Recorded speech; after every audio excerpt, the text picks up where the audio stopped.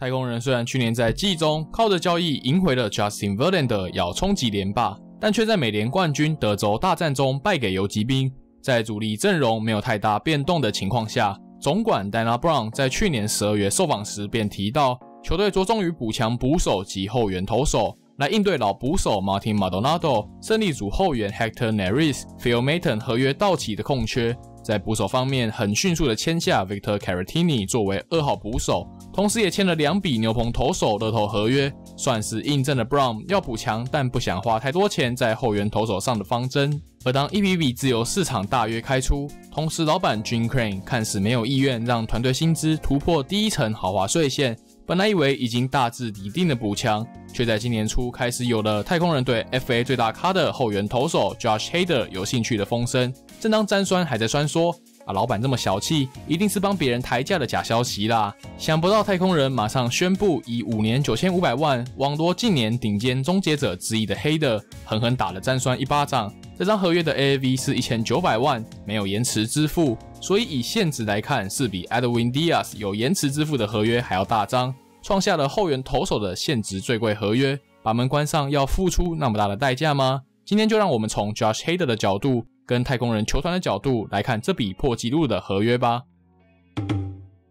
Josh Hader 是近年强力终结者的代表之一，同时又是稀有的左投，生涯 K 九值十五，将第九局的关门任务交给他，能用最安稳的夺三阵守下胜利。从酿酒人时期开始，便是季中交易时的大热门，并于二零二二年被交易到了教士队。当时的合约还有一年半的时间，于今年二零二四年到期。虽然教士有对黑的提出两千零三十二点五万的合格报价，但黑的决定投身自由市场，目标是在满三十岁的生涯巅峰争取到一笔复数年的合约。从二零一七年登上大联盟之后，Josh Hader 使用挥空率极高的伸卡球与滑球技惊四座，隐蔽性十足的长球让他在打者只能面对他一次的情况下非常占上风。在酿酒人的前几年被当作跨局数的拆弹专家使用，也练就了超强的心脏。现在在 FanGraphs 统计的中张力、高张力情境下，我把分别是两成三二与两成五五，并于二零一九年开始正式接班终结者的位置。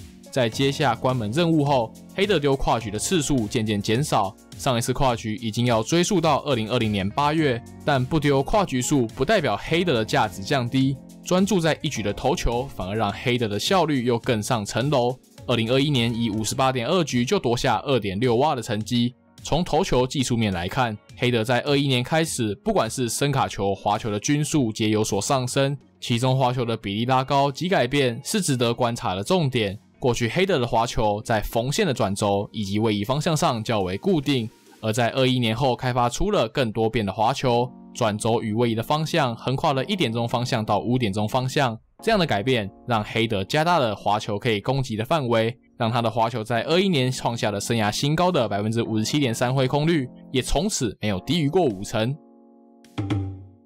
但黑的也不是一直维持巅峰，从二零二二年七月开始陷入了前所未见的低潮，七八月的沃巴更是突破天际的五乘二二、五乘零五。七月份短短九点一局被打了生涯新高的五发全垒打，八月份连续的大爆炸一度让教士将黑的拔离关门的位置。这段期间，黑德并没有传出什么伤势。有些报道指出，黑德有 tipping 的问题被抓到，在丢速球前不会深呼吸，而丢变化球时会，但样本过小，难以验证。不过回顾以往黑德在季赛中陷入低潮的月份，可以发现一个有趣的现象，就是黑德存在夏天状况会比较差的规律性。我们将黑德在转任终结者后状况较差的2021年7月、2022年7月到8月。与当年度整季的状况做比较，发现滑球的状况有所不同，在转轴方向上会略微降低，同时皆有水平位移变大，但垂直位移变小的情况。在比对黑的这些月份的滑球使用量，都是有所下滑的。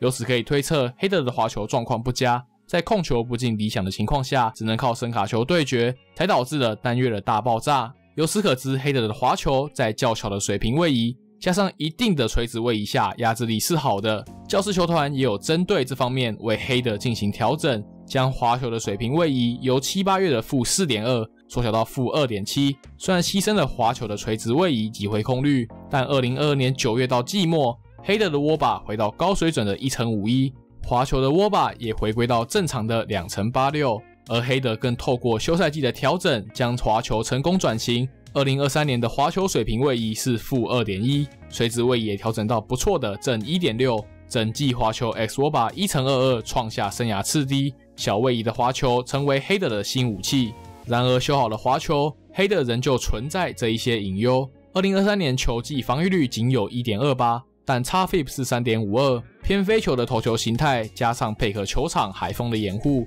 让黑的本季躲掉许多被炸裂的画面。到了外野相对较小的太空人美丽国球场，大概又会被修正一波吧。此外，黑德本季的 x 8抗两成九一是生涯新低，但控球状况却是越来越糟，BB 九是生涯最差的四点七九。虽然能有效控制被击出的击球品质，但保送堆垒包的场景在本季层出不穷，与巅峰的二零二一年相比不安定许多。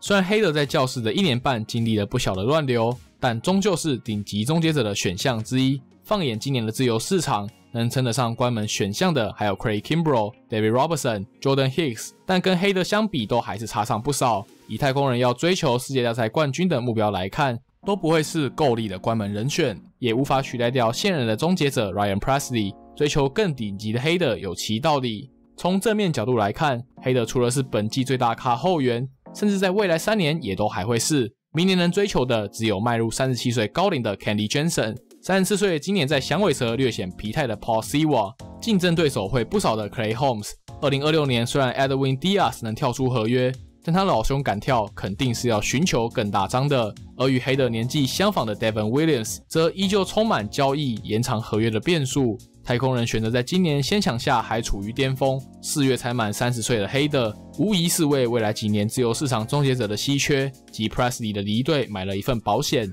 以太空人今年的阵容来看，或许是往后几年最有机会夺冠的时刻。内野核心 Jose Altuve 与 Alex Bregman 都即将在今年结束后成为自由球员，如果没办法续约，无疑是要面对内野阵容的大改组。绑下黑的，除了是保保险之外，也是要在夺冠窗口的最后一年煮出最安定的牛棚，在七八九局分别可以排出 Brian Abreu、Ryan Presley、Josh Hader 的超强胜利组，堪比一四一五年的皇家铁牛阵。如果老板执意要签下的 Rafael Montero 能够回稳，那就皆大欢喜了。而从薪资的角度来看，黑德的签约让太空人的薪资首度突破豪华税线，来到了二点五四六亿美元，刚好压在第二层门槛二点五七亿以下。在依照今年的战绩决定后续走向。去年年底总管 Dana Brown 才在说预算不多，也不想花大钱在后援投手上，却在今年花大钱签下黑的，还会失去第二轮的选秀签，一百八十度的大转变，